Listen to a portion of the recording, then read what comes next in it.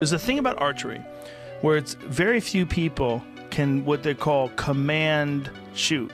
What that means is when you draw back the bow and you have your finger on the trigger, you just decide when the arrow's going to go. Okay, sure. Most people don't do it that way.